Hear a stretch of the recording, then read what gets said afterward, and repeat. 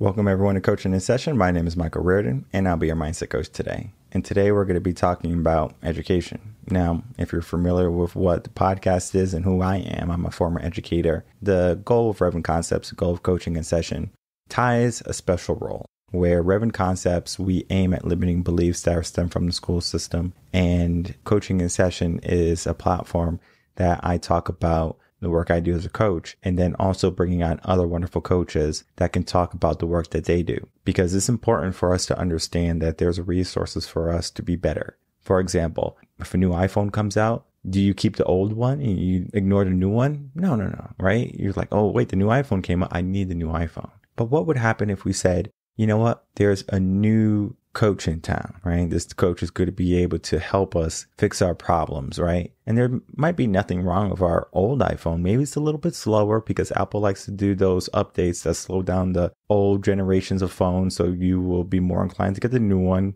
They admitted it, but that's neither here or there, right? We're talking about education. We're talking about people and coaches. And what we can expect is that, yes, you might have received coaching before. You might have received guidance or an education. And you might think, well, I got my education. I got what I needed. But as times change, so do the methods of how we address it. And it's important to understand the different types of education, how our kids learn, how parents are perceiving the education system, how teachers are operating in the education system. Because we can look at the good, we can look at the bad. And right now, a lot of people are looking at the bad they don't necessarily see the good that's happening, whether it be, okay, well, we're going away from the curriculum, we're doing certain things. But what tends to be happening right now is that many people are shying away from the public schools, they're shying away from the standards of learning, and they're trying to take that role and put it onto themselves. And though it's a good thing to make sure that your child has a great education and that they're prepared for the world, it's difficult for a parent to really show up and be able to fill in all the holes that a teacher would, that a classroom would. Because the, the way the brain develops is, yeah, you might have them at your house and they will be safe and they will be secured and you can teach them exactly what you want. But those opposing views that they're going to be introduced with at school, maybe some incidents of bullying, that's going to help them grow. And though it might not be like a rampant bullying, or that there's so many skewed points and maybe the politics of what school is or the world.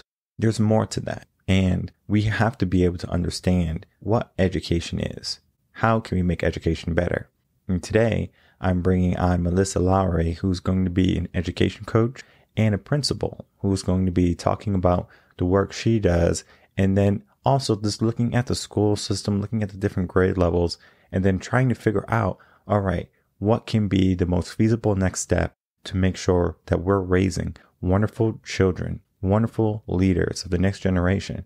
It's so important that we do that because if we don't, then we're dooming ourselves to have a more difficult, challenging future. We can make the change today, but we first have to understand what is missing and then how to fix it. So let's get into an interview with Melissa and myself.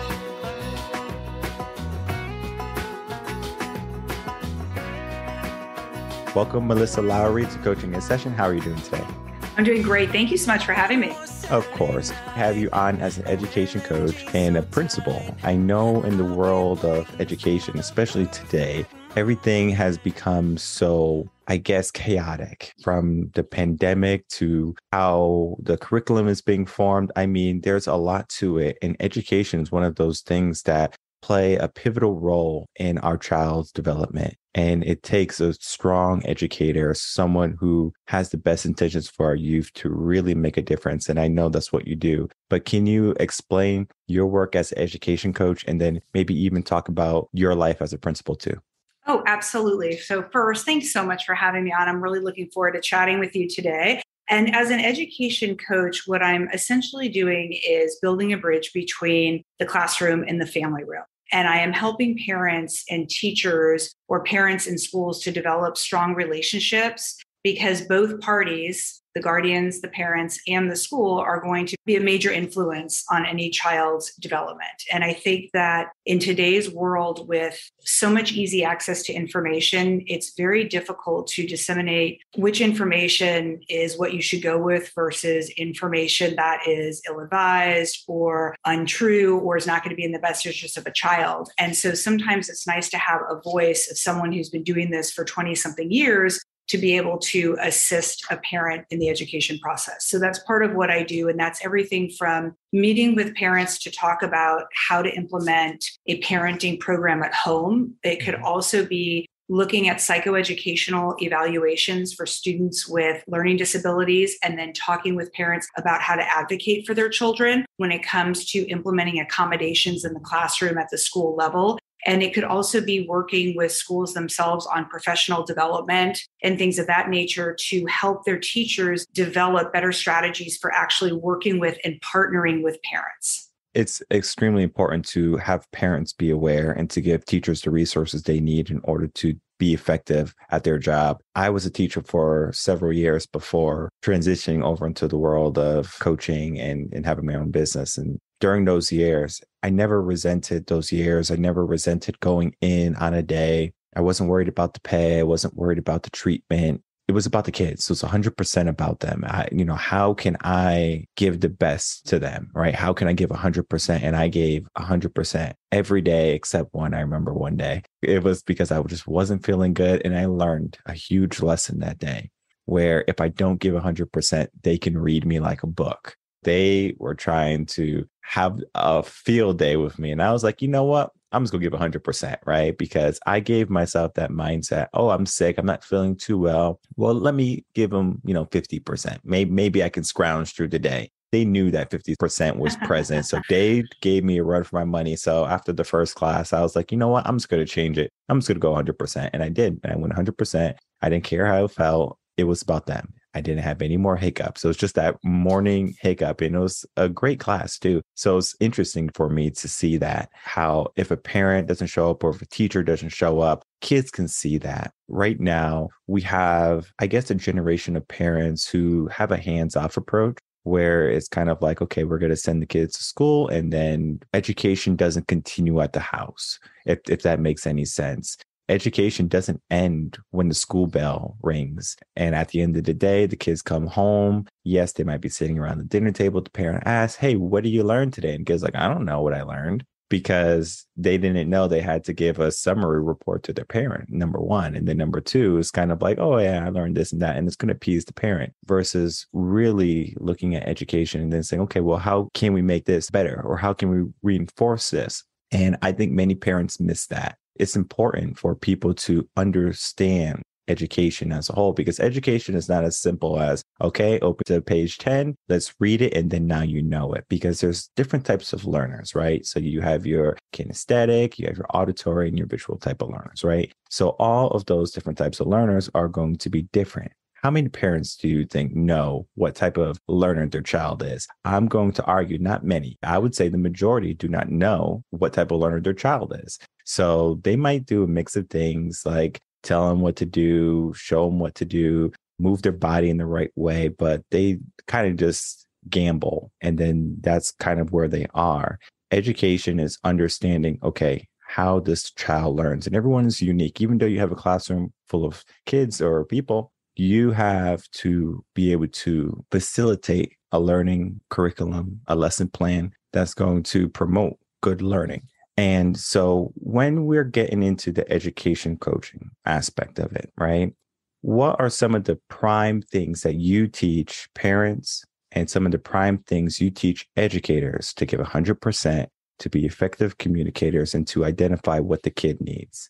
Wow. I mean, you just brought up like mind blown, like so many different things that we could, that could be their own separate podcast. But going back to the three questions you just asked, I think when it comes to working with parents, it's helping them to identify the best way for them to communicate with and support their children. Because a lot of times, like I always say, parents never tutor your own kids unless you are an expert in a subject and your child wants that influence. Because oftentimes, when parents move to a teaching role which we saw was a disaster during the pandemic overall, or to a coaching role, that doesn't always work very well. And so, what I often say to parents, try and stay out of that role so that you can continue to be the cheerleader and you can continue to be the safe space for your child and actually let the school and the teacher do their job, which is holding the child accountable at school for academics and things of that nature. And that doesn't mean there isn't a consequence at home, but as far as creating a safe space where students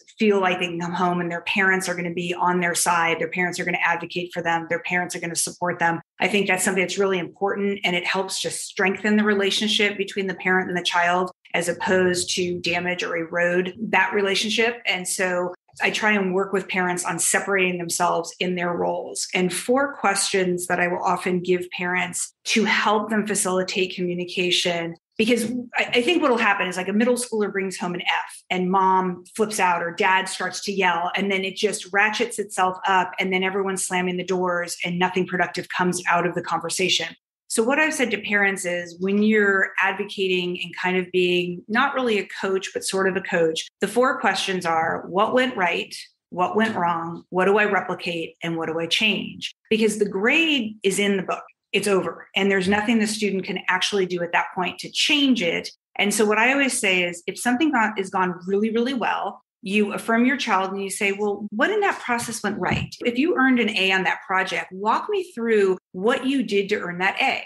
And so you're reinforcing the behavior that that child engaged in to earn that. And then you would say something like, how would you replicate that somewhere else? Like, wow, that was awesome on that science project. How would you take the skills that you built and the strategies that you utilize and apply them in language arts or in another subject area? Conversely, if a child comes home with a C, a D, an F, and actually C's aren't bad. Sometimes a C is the best a child could do. But if that child comes home with a low grade, most of the time they're already embarrassed. They already feel bad about it. They don't need someone else yelling and screaming at them, and it's not productive. So you take a failure bow, as I like to say. And I did not coin that. I can't remember where I found it, but I'm not the originator. But they take a failure bow, and the parent says, you know, okay, what went wrong in the process? Talk to me about what went wrong, and then identify it because sometimes it's an extenuating circumstance. Let's say that the night before there was a horrible storm and you lost all your power you didn't have access to the internet and you couldn't go to Google Classroom to access something. And so it affected your grade. Mom and dad can, or the guardian can say, you know what? That's okay. We're going to let that go this time. And then is there something we could have done? Could you have printed your notes ahead of time? Could you have whatever? Or was it that you didn't study? Was it that you made note cards and that's not effective for you? And help the child engage in what we call metacognition, which is just fancy for thinking about thinking. How do I learn? And so when you say what went wrong and then how do I change that next time? You're actually empowering your child to feel like he or she's in control. And that's something that's very important to young learners is feeling as though they can have an influence over their own future. And when moms and dads engage in those four questions, it oftentimes can prevent an escalation and it can prevent a conversation from really going sideways. And then it also helps arm the child for a future experience because they've thought about, okay, what went right? How do I apply that somewhere else? Or what went wrong? And how do I change that going forward? And so I have found that universally, regardless of who I'm working with and regardless of the age, those four questions, when posed, you know, developmentally appropriate a five year old is going to look a little different you know than a 15 year old it can be really transformative in the relationship that the parent has with the child and then it actually can be transformative in that homeschool relationship because the parent is actually helping the teacher in a lot of different ways because those are skills that we are often trying to impart. It's like people call it executive function we're trying to get our students to understand how they learn so that they can take advantage of that or they can pivot and develop other different skills to rise to the occasion and to do well in school. And so it actually starts to strengthen that partnership. I'm going to touch base on that before we get into the 100% teacher aspect. You are completely correct when it comes to parents should have a role being a parent. I know a parent might be a teacher, they might be a great educator, but it's different when it's your kid. You said it. The pandemic was an awakening for many parents. It's like, man, this is what I have to do. This is tough, right? And then that was when a lot of parents were going on TikTok and on Instagram. They're saying, Teachers, we need you. We love you. They're basically praising teachers because they understand that their child is not the sweetest thing that they thought they were.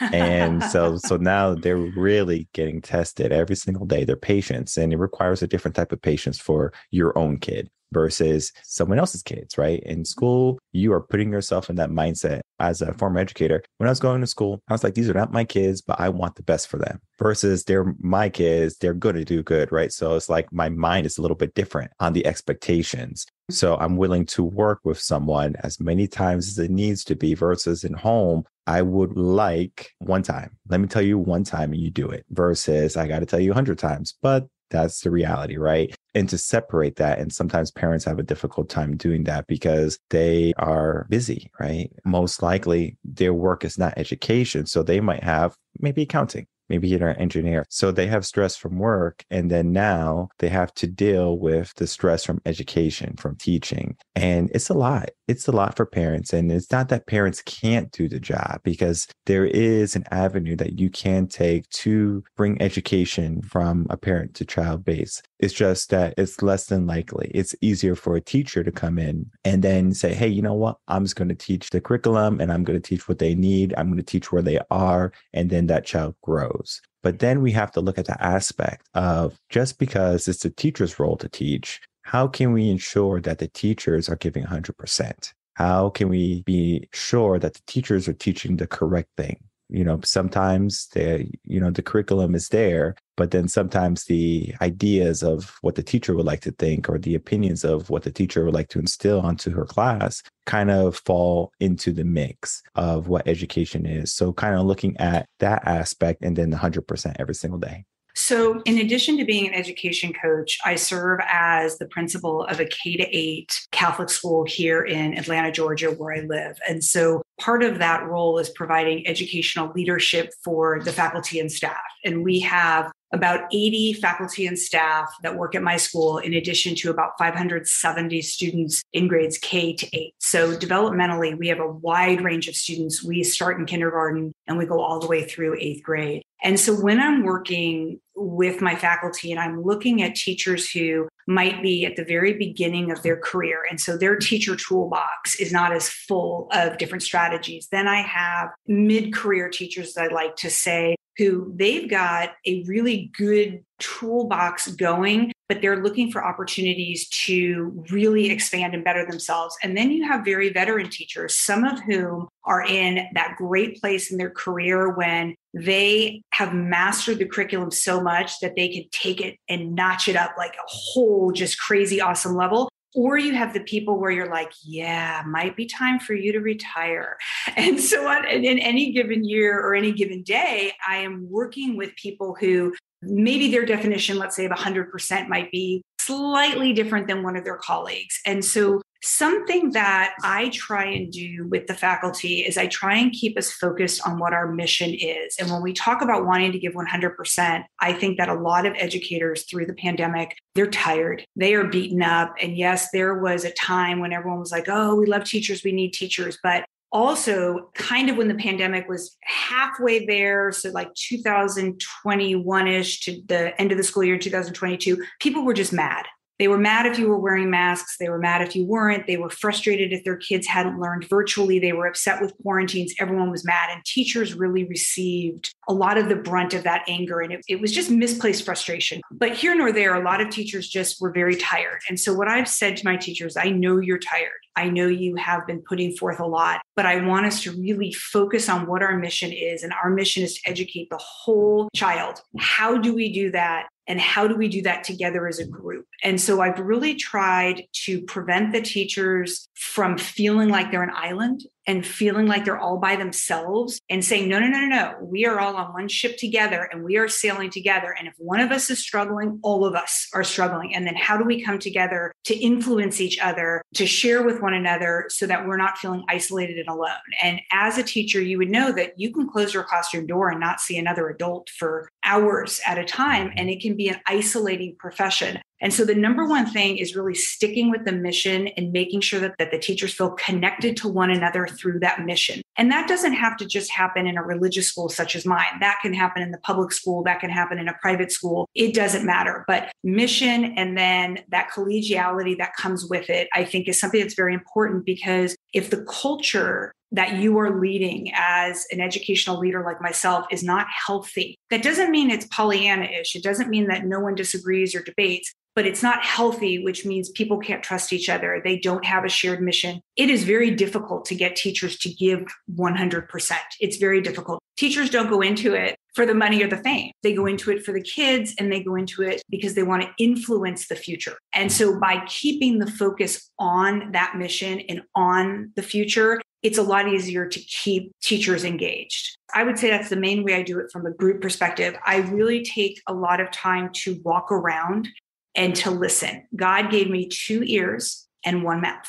And I need to listen twice as much as I talk. And what I have found with, with my colleagues is that when they feel heard and listened to, even if it's not always the answer they want, but they feel that they've been given that opportunity, they are more likely to give 100% in the classroom. And unlike, I think, some conventional wisdom that says, you know, the more oversight these teachers have, the, you know, the better they'll do, I actually like the exact opposite. I think that micromanaging is one of the surefire ways for teachers to become disengaged. They need to be empowered to lead within their classroom. Most teachers do not want to be administrators. I mean, the joke is they take the bad teachers and they make make them administrators.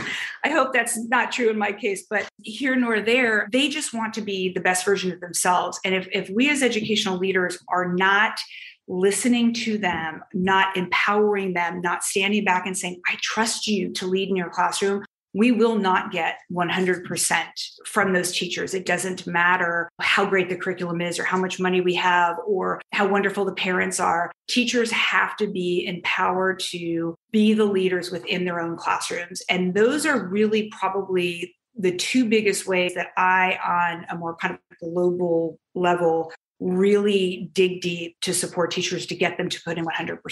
The other is if I see that a teacher is suffering, I really believe in a lot of grace. Teachers are there because they love it, but that doesn't mean they don't have other priorities. They may have a sick parent, they may have a child with special needs, they may be going back to graduate school, they may have a really long commute. They're people too. And so it's working with teachers and saying, what is it that I can do to serve your needs, to put you in a position to feel good about coming here?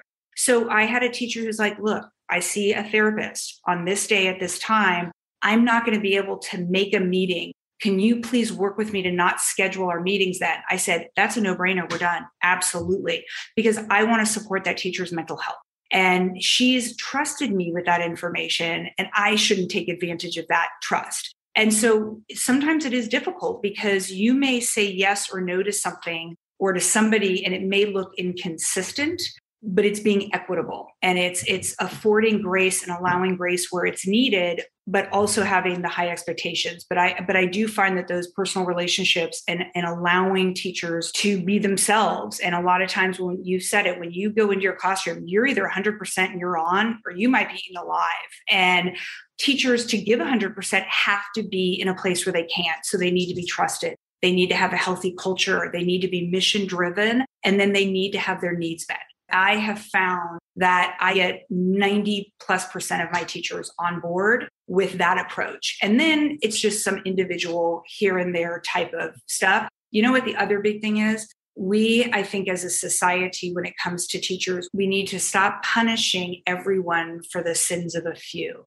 And I just remember I was a competitive soccer player and tennis player, and I always hated when when one person screwed up, the entire team had to do something. And I understood from the coach's perspective that they were trying to get everyone to engage in like positive peer pressure, right? And sometimes it can work, but I think when it comes to teachers, like if you have someone not following the dress code, do not send an email to every single teacher because the teachers following the dress code are the ones who are going to say, Oh my God, I did something wrong. No, you need to go to the teacher specifically and say, Hey, let's have a conversation not an email, but a dignified, respectful conversation where I lead you into the process and talk to you about why it is that we all follow our dress code. And that's being respectful to that individual teacher, but then it's also being respectful to your colleagues by not dragging them down with negative feedback when they're not the ones engaging in the behavior. And those can be really, really tough discussions to have, but they pay dividends off later on because people learn to trust you and they know that they're not going to get nickel and dimed, they're not going to get micromanaged, and they're not going to be blamed for things that they didn't do. And I think those are just some important notes on getting teachers really truly to give 100% because the kids are the easy part. the, kid, the kids are the are the easiest part of the day. It's everything else that goes along with teaching that complicates it. I actually like the model of K to eight one building school. When you separate elementary, middle school, and high school, it creates chaos. Have you ever been in a middle school? That's a public school. It is chaos. I've talked about it on the podcast. I you could talk to any middle school teacher. They say it's crazy because you're putting all of those hormones, all of those same mindsets into one building. And guess what happens? It festers and it just goes crazy versus if you have a K to eight school, what tends to happen for the mindset of that kid is that yes, the hormones are going. Yes, they have a group, but it's a smaller group of students. So maybe in a class, you might have 60 kids versus in a regular class, you have 200 kids. And that difference is night and day. And so now they have those kindergartners in the same building that the middle school kids are in. So what happens is that they say, "Oh, I have to be a role model." Whether it be subconscious or conscious, they automatically do it in a K to 8 school. Exactly. If you don't have them in a K to 8 school and they're in middle school, they say, How can I be the big dog? So it's literally a bunch of people trying to be alpha and omega when there's really no one needing to be alpha. You just have to get your education. It's very different. So I prefer the K to 8 type of standards or education system because I taught public schools. You can see the difference. And I was fortunate enough, I went to Catholic schools K to 8. And so I can see the difference. When I first got into public schools, I was like, wow, this is insane because it's like almost like a free for all and you have to learn how to juggle things. And yes, you can have a semblance of organization and of functionality in your classroom, but a lot of those students are operating on their own ideals and beliefs. I saw on LinkedIn the other day that it was an assistant principal. He was walking down the hall and he saw some students in the hall and he says, Where should you guys be?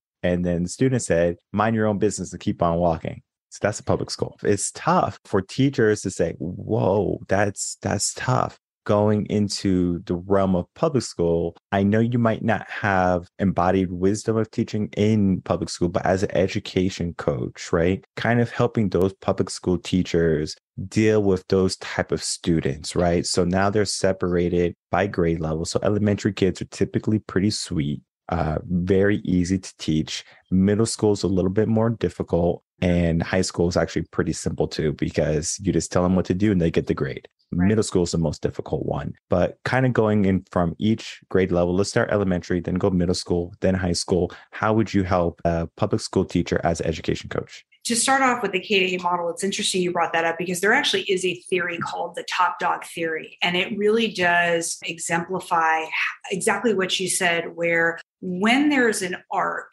and students engage in that arc of education, like a kindergarten to an eighth grade, there's a natural progression and a natural ending to something, and that there is a psychological component to being the top dog in an environment and the expectations that come along with that. Despite the fact that I think a lot of people look around society with social media and think no one's nice anymore. I don't agree with that. I think that we're naturally empathic people, empathetic people. And I think that eh, children are no different. And that older children, when they see younger children, they have a natural inclination to want to assist them and to want to mentor them and to help them. And that is sort of built into our DNA. We're very social animals. And it's a really sweet thing to see. With public school teachers that I've worked with, and my colleagues in public school are heroes, I think they're doing an amazing job in a system that doesn't always reward the teachers. And I think that oftentimes our public school counterparts are, are demonized for policies and things that they have no control over, and that they're working with constraints that someone like the leader that I am in my school, I have a few rules and regulations we follow through the archdiocese, but I'm the chief officer of the school plant. And so I'm making a ton of decisions every day that only affect our environment. And that just doesn't happen in the public school. So I admire my public school colleagues Now, I would say, I mean, in K to 2, it is much easier, but we will see behavior problems come up, especially in environments where the kids have experienced a tremendous amount of trauma. And through the pandemic, we saw that, especially with Title I schools. And when we saw those schools having things like free and reduced lunch being pulled out because they were no longer learning in school, they had, there was a lot of inequality and access to technology and things of that nature. We're seeing a pretty wide gap in the type of education those students received in those very formative young years versus their counterparts in a wealthier public school or a private school, so on and so forth. And so I think for those teachers, the number one thing is forgiving yourself before you walk in the door. Teachers are not responsible for society's problems and ills.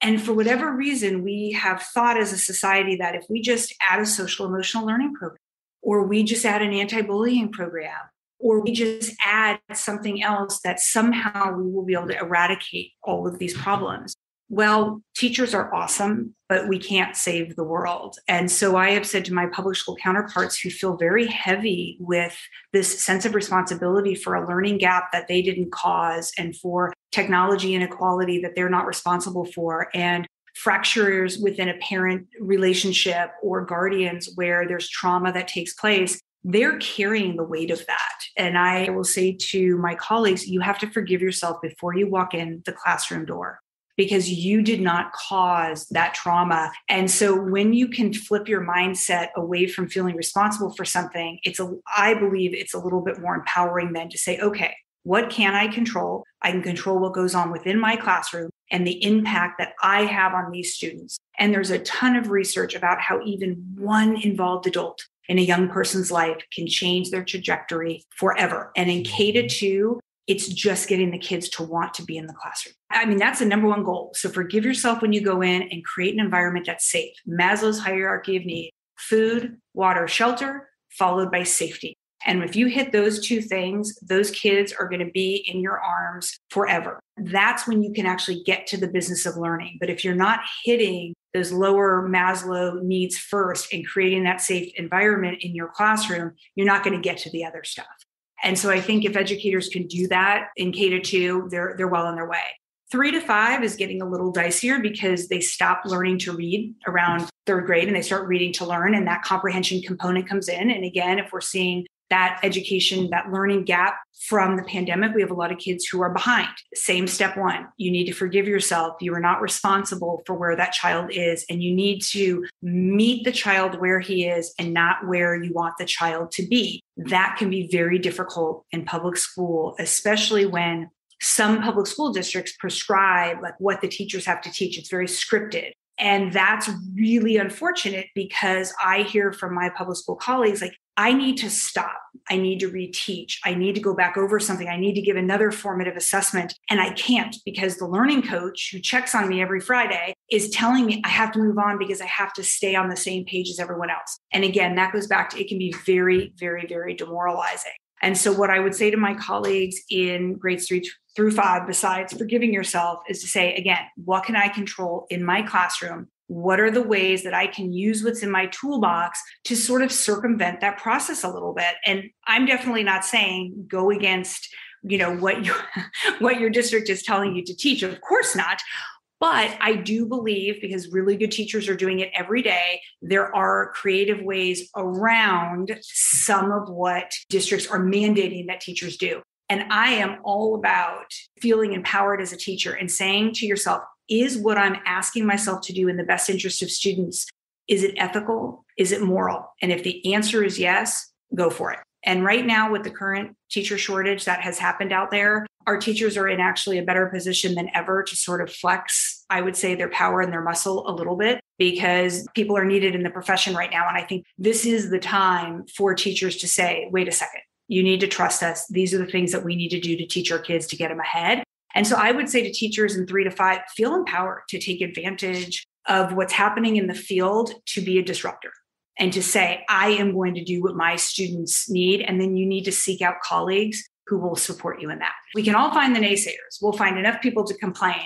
You need to find the people who will fill your tank and your toolbox with you and follow you along. Middle school, ah, middle school is its own beast. I was um, a middle school language arts teacher myself for seven or eight years. I jumped actually from first grade to middle school. That was a learning experience but they're my people. And if I go back into the classroom, my favorite place to go is middle school. They are ornery and angry and oversensitive and egotistical, and they're still the most endearing people in the world. And I just am tickled every day by the middle schoolers. And I think what I would tell middle school teachers is you've got to have a really healthy sense of humor. Because if, as a middle school teacher, you take your students' behavior personally, that's going to be the end of it because it doesn't matter that it's you or me or anyone else in front of them. They're in a difficult age and stage. And you hit the nail on the head. It is more difficult now to teach middle school than high school with social media, with what's happening with them developmentally, chemically, physically, maturity wise. It is, I mean, it could be a disaster from one day to the other, these poor kids dealing with so many things. And if you take their behavior personally, you're never going to do well in middle school. So I just chuckle. I mean, it comes at me, you know, I've had a student, even in a Catholic school, say things to me that are inappropriate or that are rude. And your first reaction could be to really just bring down the hammer. But I usually do my best to not be reactionary and to chew on it and to think, hmm, what was driving that student to react that way or to treat me in that manner? Because children don't do things for no reason they're driven to do things for a reason. And so I'm usually looking at them as a puzzle and trying to figure it out. So I'm saying healthy sense of humor, not taking the behavior that they engage in and the words that they say personally, and then to step back, separate the child from the words or the behavior and say, what's going on there? Because with middle schoolers, the way that you get them back is to figure out what makes them tick. And if you can identify what makes them tick and relate to them, they're just like the K to two kids. They'll be with you all day long. Someone once said to me that a 14 year old is like a two year old, right? A two year old is running away from you and saying, no, no, no, the terrible twos, yet looking over their shoulder constantly to see if you're there. Every 14 year old eighth grader I know says, Mom and dad, don't go to my basketball game, don't come here. But when they don't show up, they're disappointed. And they're so they're trying to develop their own identity but they're not ready to develop their own identity quite yet. And so they're in that that push and pull which is why one day they're going to be super sweet and the next it's like what happened? This is not the kid i knew a day ago. They are breaking that bond with their parents as or guardians as they develop into more adult humans and have abstract reasoning and those types of things. So, great sense of humor, not taking things personally, and then being able to really separate the behavior and the words from the child and figure out what's driving them. And then I find that middle school teachers have a lot more success. You don't have to be the coolest teacher. You don't have to be your kids, you know, your students' friends. You shouldn't do that. But you can be the teacher that they want to talk to because they know that you love them and care about them, but you will hold them accountable for what your expectations are. And I suspect with the assistant principal in that one case, that maybe there needs to be some self reflection there. Now, are there jerky kids out there? Sure. But what's happening where that's the response? And I'm not saying it's the assistant principal's fault, and I'm not saying that the student was okay to say it, but it deserves some reflection of, hmm, what's going on in our culture, in our environment that a child feels empowered to speak to me that way? And how do we get to the bottom of that? Let's figure that out. So I would just see that more as like an invitation to try and solve that problem. And looking at the high school component, right? Oh yes, high school. Um, I think it depends on what type of high school you're in. I mean, public high schools in really high achieving areas. So you look at a place like, let's say, um, Silicon Valley in California, where I have a sibling who has children. I mean, it's a pressure cooker. And there, I mean, there's so much pressure for those students to take all AP classes and so on and so forth that they are really mentally and emotionally hurting on one end of the spectrum. And then you go to an area like downtown Atlanta and they are suffering on the other end because they're not sure where their next meal is going to come from or there is violence in the household. And so depending on the school there are going to be different needs. And i would say similar to middle school high school teachers they need to have a healthy sense of humor. They need to not take behavior personally but i also think that they need to establish their expectations very early on. And you could apply that in any classroom. You know that as a teacher without routines and expectations and all of that, no classroom will run efficiently or effectively. But I think it's most important with high school teachers that they set those expectations and that they hold students accountable. And that's what I hear from my former students who are in high school. They can't stand the teachers who have one set of rules for one set of kids and another set of rules for another. So the football player in your class can't have a different rule or different standard than the child on the robotics team. And the expectations should be the same. Not necessarily as high, but they should be the same. The best that you can do. It might be an A for one student and a C for another, but was that your best effort? And so I think it's important to establish those expectations and to really make sure that your classroom is an equitable, safe space for any student to be in. And when that happens, that's when the learning can take place. Expectations were what got me through day one, saying, Hey, these are the expectations. This is how it's going to be. And I think it's important for the students to know that because if they don't, they're just kind of going in, well, okay, well, let's see what I can get away with versus, oh, this is what they say I have to abide by. And if they cross those expectations, the first moment they do it, that's when you check them and you say, Hey, this is not going to happen. Right in my classrooms, I always made it very aware that bullying was not going to be tolerated, right? Making fun of people wasn't going to be tolerated Amen. in my class. Amen. And if you did it in someone else's classroom, I'll give you a dirty look. I'm not going to bring it up because it's not my classroom, but I'm going to be paying attention if you go in my classroom with that behavior, right? I'm going to check you there. It didn't matter if it was elementary school, didn't matter if it was high school. It doesn't matter the grade. My expectations were not to be bent and I find that teachers who give some leeway to students who, you know, maybe broke a rule or expectations. And guess what? Now that student learned. Well, you know, going to school, you learn things. So they learn, oh, I can break these expectations and there's no consequences. There was never a moment when I had an expectation broken that I didn't address the situation. I think that's so important for teachers to realize you create the expectations you want for your classroom and then don't be so rigid, especially in middle school, sometimes in high school, is that they're trying to drive a reaction from you. And if they can get your emotions, you lost, right? So you have to be able to control your emotions. And, and one of the things that I help people with is the idea of understanding that you're in control of your thoughts, your feelings, and your actions. And when you can control all three of those, no one else can have an influence on those. That's you in school, sometimes you have a student. I call students who give you a run for your money heavy hitters. There's no bad kids. I call them heavy hitters. Yep. It's just that you have to be careful. Uh, if you're familiar with a baseball analogy, you have the mm-hmm. pitcher. You might, you know, be going up against a batter who's just like Babe Ruth. He's going to hit a home run. If, if you throw a slow ball, a flop, he's going to hit it out of the park. And some kids are like that, where if they see you're not 100% and they see that they can get away with some of those expectations, they're going to run with it as much as they can. And your life is going to be miserable. So you do have to check it as soon as it happens. And then you typically don't have any issues. And so that was one of the things I was good at uh, when, when it came to discipline for the classroom. I didn't have a classroom management issue. And there were some veteran teachers that were years ahead of me that were struggling with the same classroom. And then I had to ask myself, is it because I'm young? a man you know like i was looking at different aspects like why are they listening to me but not to the other teachers and then it mm-hmm. came down to the expectations and it's a critical factor for learning and then raising children whether you're an educator or you're a parent the mm-hmm. expectations mm-hmm. have to be there and then starting from where they are you know kind of going back to where you said is like the pandemic really put some kids behind. So yes in public school you might be getting a third grader that's reading on a first grade level. Typically in the public school we have this idea of well you made it to third grade you should be on the third grade level. That can be far from the truth. So we treat everyone to be on that level and then that kid has to catch up somehow on their own or through failing grades and then maybe parents saying, okay, you need a tutor, parents saying you need to yell, and then they finally change, or maybe they don't. I mean, there's a lot to it.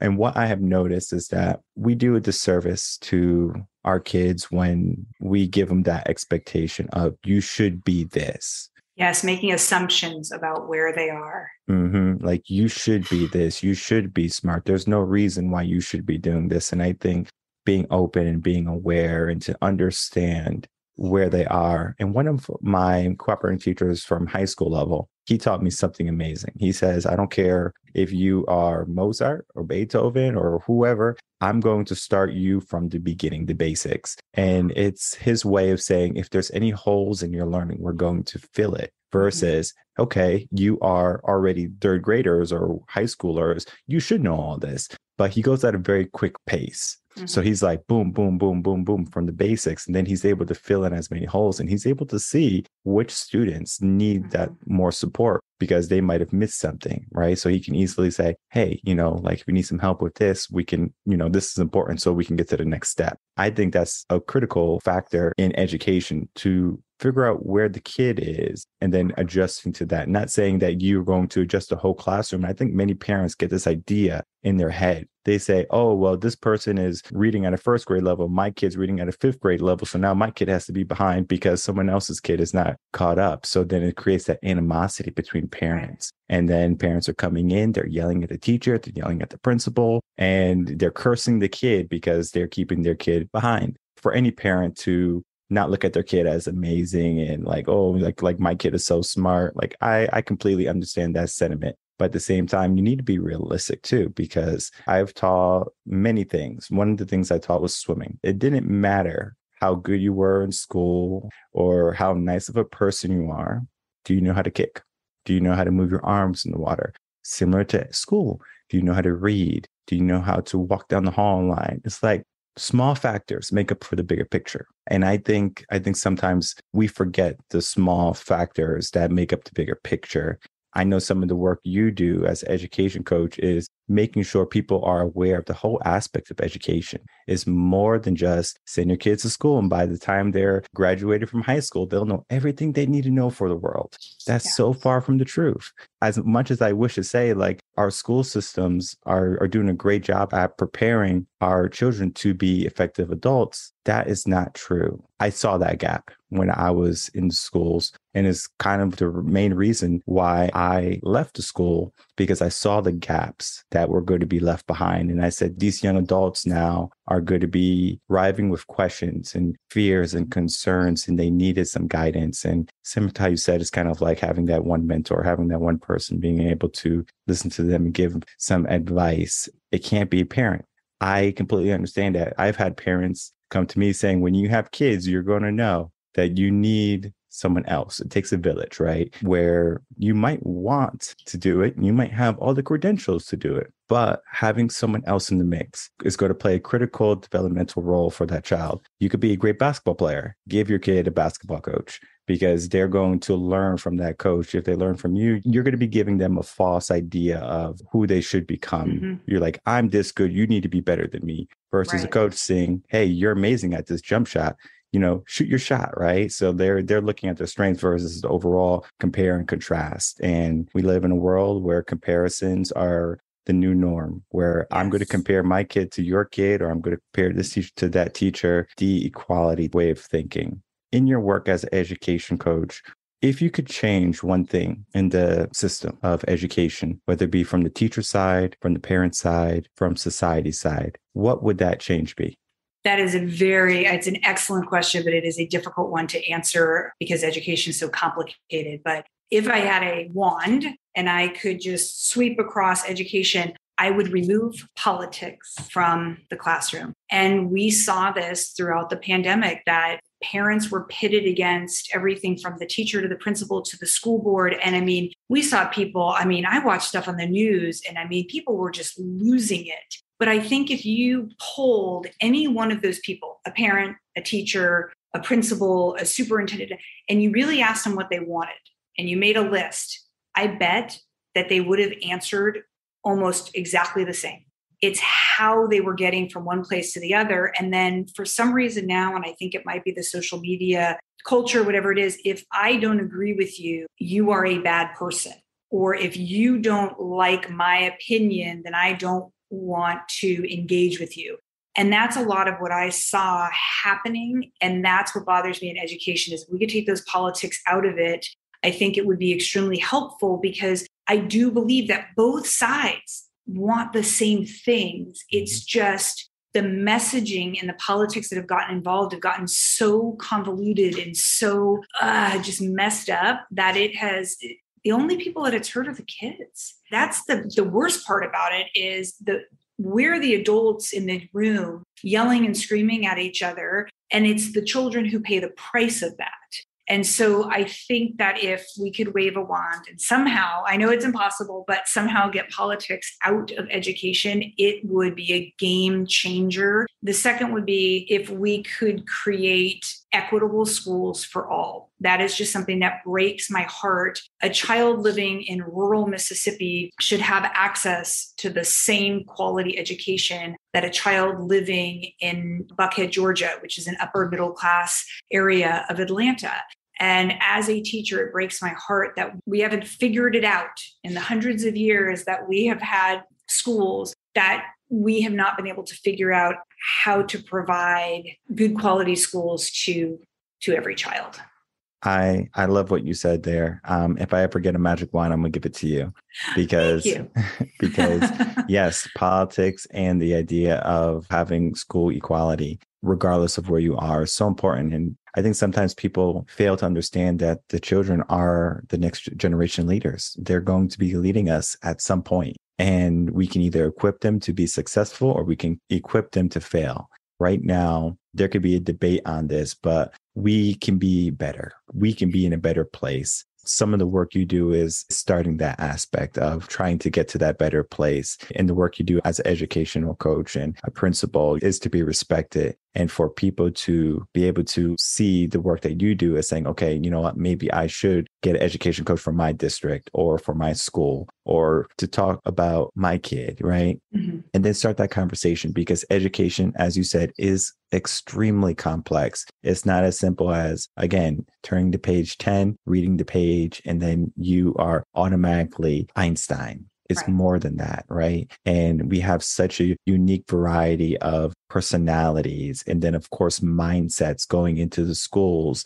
You just can't choose a narrow path for everyone to follow down and say, okay, this is how you should be. This is what you should be going for. You choose. And schools sometimes give limiting beliefs to children. Mm-hmm. And I have made it my mission to turn those limiting beliefs around. Reven is just never turned backwards. Yeah. And it's a whole story. We can talk about it later because our time is running short. And I could talk to you all day about education. I could talk to you all day about the work you do because it is important. And I do want you to understand that the work you do is impacting the world. And that's why I wanted to have you on to talk about the work you do and then to give you a platform for parents to reach out to you to say, hey, how can I make my kid better? And it's not that your kid is bad, mm-hmm. it's equipping them with all the tools and the resources they need to be their best self mm-hmm. that they mm-hmm. can at that point. And as we grow up, we get stronger. Our mind gets stronger. And yes, our mind might change. Life might move a different way, but it doesn't necessarily mean that we shouldn't do things, right? We shouldn't be idle. We shouldn't just sit by the waysides and do nothing. We can make an impact. And I think a great place to start, whether you be an administrator, an educator, or a parent, to seek out a way where you can make sure your kid, your child is getting the best education that they can.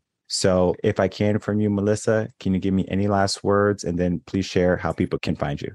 Well, I it was such an honor and a pleasure to be here. So thank you very much. I think that if I could send one message to the fellow educators out there, it's you are doing the good work and you don't hear that enough. And I want to send that to all of my colleagues in education, whether you teach in a Catholic school or another religious school or a public school. We are in this together. We are all working for the future of our kids. And so I want to just thank all of the teachers out there. For the parents, I just want to send a message that says, you know, it does take a village and you do have a lot of resources and people out there to help you. No one expected you to be a teacher during the pandemic.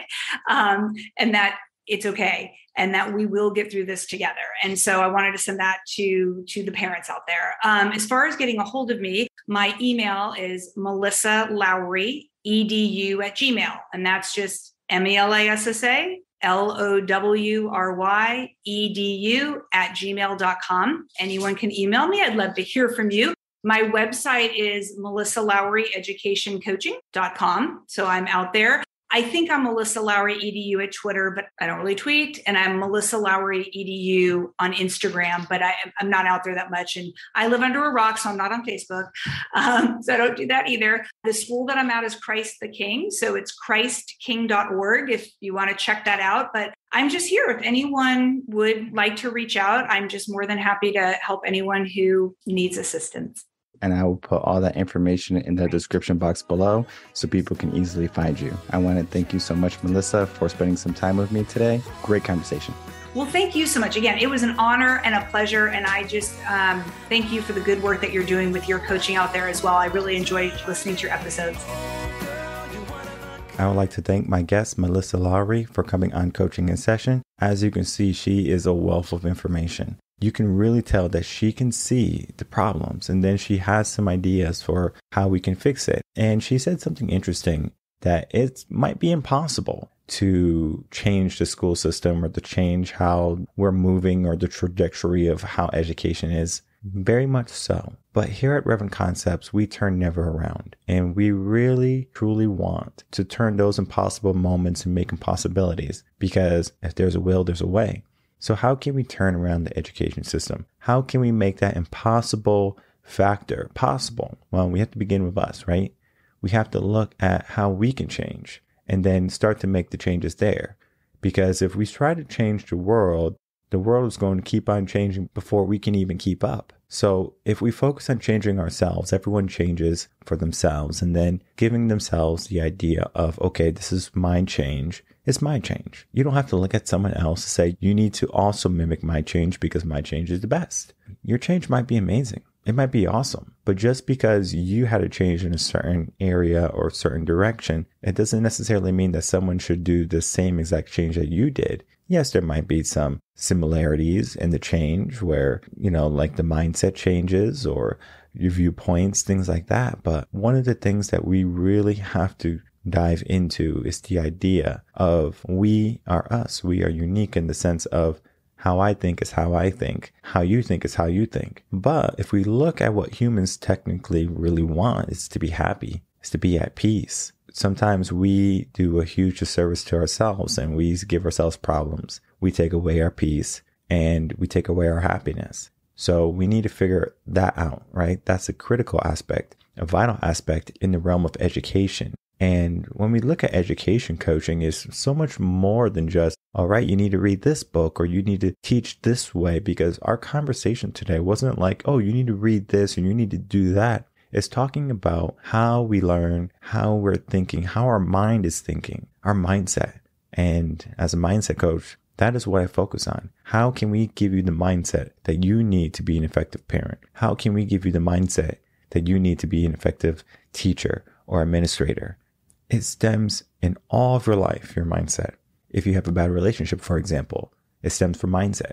If you have a bad career, it stems from mindset. Maybe you have a terrible boss, but it's going to stem from mindset too, because you can have a terrible boss and still love the work you do. And if you don't love the work you do, then what are you doing? Because it can show that you have some type of scarcity type of mindset. You have some type of fear blocking you, roadblocks. You might have fallen into a circumstance and it's difficult to get out of it. You can make the change. We need to stop allowing our circumstances to validate why we feel so crappy, why we feel so bad. We can make the change. If you don't feel good, change. If you don't like the way things are going, change them, right? But you have to change yourself first. And I think I think that's the starting point. Let's start to begin to change ourselves. And I think that's the starting point. Let's begin to change ourselves. And then, of course, things will fall in line too. And don't be upset if you're doing the right thing, quotation marks, if you're doing the right thing and someone else is not doing the right thing because that's their life. You're not here to control other people's lives. It might seem that in education, the teachers are controlling your children, the system is controlling your children.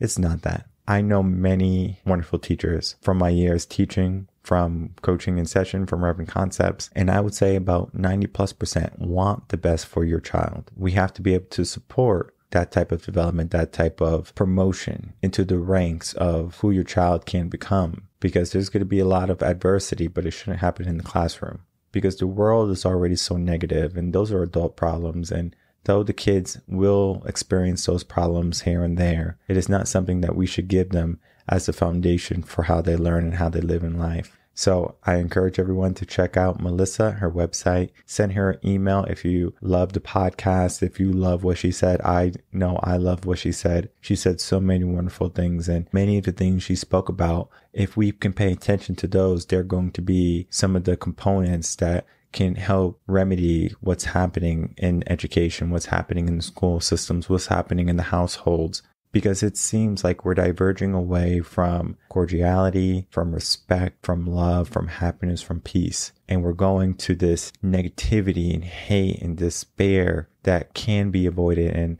I encourage everyone to seek out a coach, whether it be a mindset coach, life coach, an education coach, and learn methods that are going to help you become better, to help you prosper in any regards, and to help your kids prosper if you have children because in the end, the children are our future, and it's up to us to give them a path to walk on.